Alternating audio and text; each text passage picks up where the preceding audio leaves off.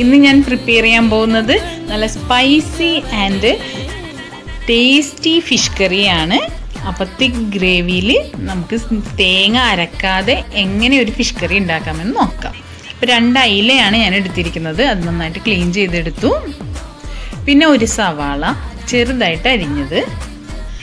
ഒരു തക്കാളി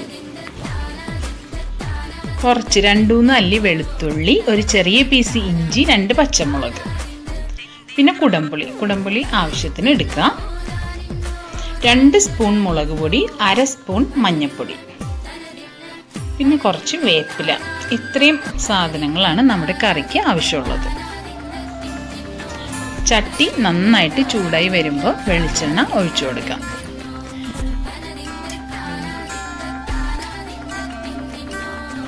വെളിച്ചെണ്ണ നന്നായിട്ട് ചൂടായി വരുമ്പോൾ സവാള അരിഞ്ഞത് ആദ്യം തന്നെ ചേർത്ത് കൊടുക്കാം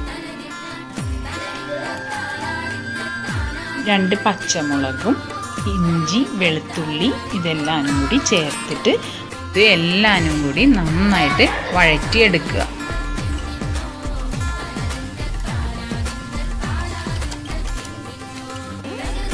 കുറച്ച് വേപ്പിലയും കൂടി ചേർത്ത് കൊടുത്തിട്ട് നന്നായിട്ട് ഇളക്കി എടുക്കുക.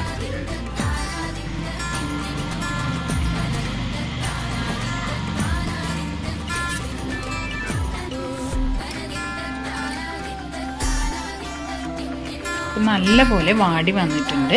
ഇനി ഇതിനകത്തേക്ക് നമുക്ക് പൊടികൾ ചേർത്ത് കൊടുക്കാം. നേരത്തെ എടുത്തു വെച്ച ആ മുളക് പൊടി രണ്ട് സ്പൂൺ മുളക് പൊടി അര സ്പൂൺ മഞ്ഞൾപ്പൊടി ഇത് ആഡ് ചെയ്ത് കൊടുത്തിട്ട് പൊടി ആഡ് ചെയ്യുന്നതിന് മുമ്പ് നമുക്ക് ഫ്ലെയിം കുറച്ച് വെക്കണം. ലോ ഫ്ലെയിമിൽ മാത്രമേ പൊടികൾ ഇട്ട് കൊടുക്കാൻ പാടുള്ളൂ. അല്ലെങ്കിൽ പൊടികൾ പെട്ടെന്ന് കത്തുപിടിക്കും ലോ ഫ്ലെയിമിൽ വെച്ചിട്ട് പൊടി നന്നായിട്ട് ചൂടാക്കി കൊടുക്കുക. പൊടി ഒന്ന് ചൂടായി വരുമ്പോൾ നമുക്ക് ഇതിനകത്തേക്ക് തക്കാളി ചേർത്ത് കൊടുക്കണം. ഇനി അരിഞ്ഞു വെച്ചിരിക്കുന്ന തക്കാളി ഇട്ട് കൊടുക്കാം. തക്കാളിയും കൂടി നന്നായിട്ട് വഴറ്റി എടുക്കുക.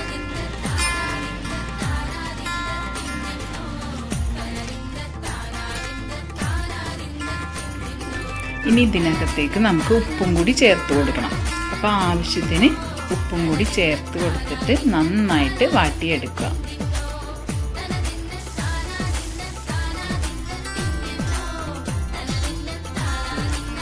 നല്ലപോലെ ഇത് വാടി കഴിഞ്ഞ് കഴിയുമ്പോൾ ഇത് ഓഫ് ചെയ്ത് വെക്കണം. ഫ്ലെയിം ഓഫ് ചെയ്ത് വച്ചിട്ട് ഈ മസാലയുടെ ചൂട് ആറണം.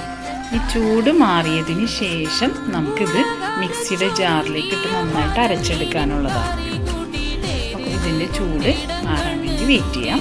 അപ്പോൾ ചൂടാറി ചൂടാറിയതിന് ശേഷം ഞാൻ ജാറിലേക്ക് ഇട്ട് കൊടുക്കുകയാണ്. ഫുള്ള് മസാലകൾ ഇട്ട് കൊടുത്തു. ഇനി അതിനകത്തേക്ക് കുറച്ച് വെള്ളവും കൂടി ഒഴിച്ചിട്ട് നന്നായിട്ട് അരച്ചെടുക്കുക അപ്പം ഞാൻ നന്നായിട്ട് അരച്ചെടുത്തു. ഇനി ഇത് നമുക്ക് നേരത്തെ ആ പ്രിപ്പയർ ചെയ്ത ആ ഒരു ചട്ടിയിലേക്ക് തന്നെ ഒഴിച്ചു കൊടുക്കാം.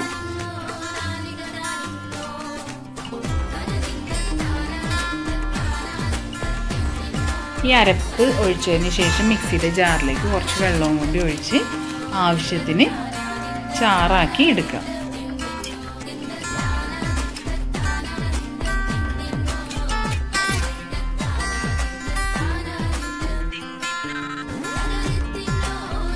ഇനി ഈ ഗ്രേവിയിലേക്ക് നമുക്ക് കുടപ്പുളി ഇട്ട് കൊടുക്കാം. പുളിയും ഈ ഇതും കൂടി നന്നായിട്ട് തിളച്ച് വരണം. തിളച്ച് വന്നതിന് ശേഷമാണ് മീനിന്റെ കഷ്ണങ്ങൾ ഇട്ട് കൊടുക്കേണ്ടത്. അപ്പോൾ നന്നായിട്ട് തിളച്ച് വരുന്നുണ്ട്. ഇനി നമുക്ക് മീനിന്റെ പീസസ് ഇട്ട് കൊടുക്കാം. അപ്പോൾ അത് എല്ലാനും കൂടി ഇനി നന്നായിട്ട് തിളക്കണം. കറി നല്ല പോലെ തിളച്ച് വരുമ്പോൾ ഫ്ലെയിം സിമ്മിലേക്ക് ഇട്ട് കൊടുക്കാം.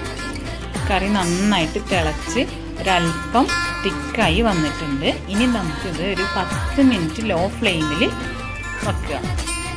ലോ ഫ്ലെയിമിൽ കിടന്നാണ് ഈ മീൻ കറി നല്ല നെയ്യൊക്കെ തെളിഞ്ഞ് നല്ല ആ ഒരു മീനിന്റെ പീസിലേക്കൊക്കെ ആ ഒരു എരിവും പുളിയും എല്ലാം പിടിച്ച് സെറ്റ് ആവാൻ വേണ്ടിയിട്ട് മീൻകറി ലോ ഫ്ലെയിമിൽ ഒരു പത്ത് മിനിറ്റ് നേരം വെക്കണം. കറിയിൽ നെയ്യൊക്കെ തെളിഞ്ഞ് നല്ല അടിപൊളിയായിട്ട് സെറ്റായിട്ടുണ്ട്. കുറച്ച് വേപ്പിലയും കൂടി ചേർത്ത് നമുക്ക് കറി ഇളക്കിയിട്ട് ഒന്ന് ഓഫ് ചെയ്യാം. അപ്പം ഞാൻ നേരത്തെ പറഞ്ഞ പോലത്തെ സുന്ദരി മീൻകറി സെറ്റായി കഴിഞ്ഞു. അപ്പം നിങ്ങൾക്ക് എല്ലാവർക്കും ഇഷ്ടമായി എന്ന് വിചാരിക്കുന്നു.